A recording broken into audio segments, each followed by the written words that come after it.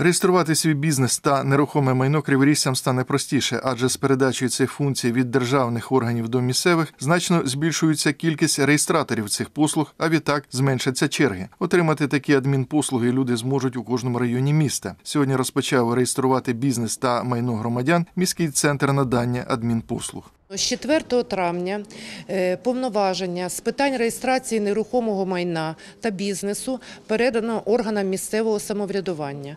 Відтепер мешканці нашого міста, яким потрібно отримати ці послуги, можуть звертатися для їх зручності до територіальних підрозділів Центру надання адміністративних послуг, які розташовані у всіх районах міста, у виконкомах районних в місті рад, а в центральному міському районі е, в приміщенні УПК. Е, Крім того, можуть звертатись безпосередньо до центру надання адміністративних послуг. Так звані ЦНАПи, центри надання адмінпослуг у районах міста, теж сьогодні почали надавати означені адмінпослуги. З огляду на протяжність міста фахівці запевняють, що вони знаходяться у кроковій доступності до людей.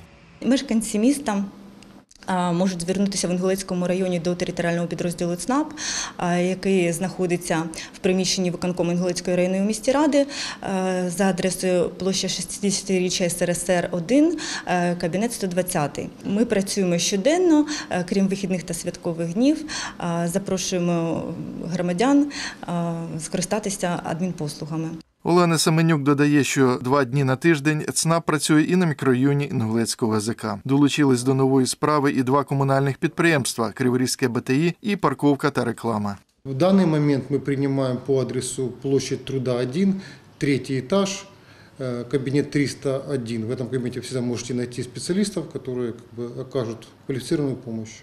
У планах керівника підприємства до кінця року відкрити такі пункти реєстрації в кожному районі міста. Слід додати, що такі ж повноваження щодо бізнесу і нерухомого майна отримали державні та приватні нотаріуси, яких у місті більше 60. Вимоги до документів, термін їх оформлення, розміри сплати обов'язкових платежів залишаються незмінними, незалежно від адресату здійснення реєстрації.